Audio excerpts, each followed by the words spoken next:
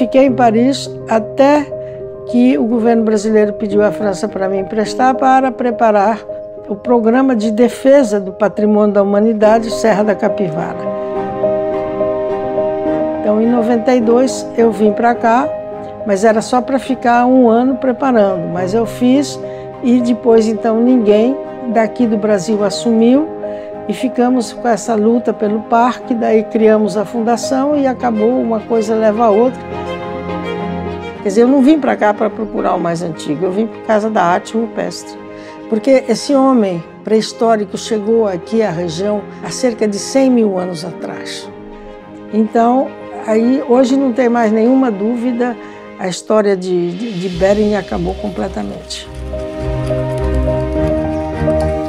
E aqui as nossas descobertas demonstraram que essa arte tem perspectiva, que nós temos aqui sítios com pinturas maravilhosas, tão maravilhosas, que a Unesco reconheceu como um patrimônio da humanidade.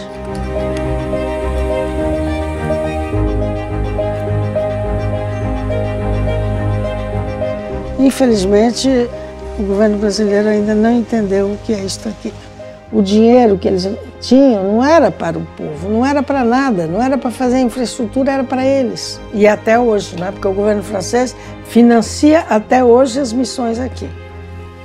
Nós tivemos sempre, então, essa luta do poder público contra a fundação.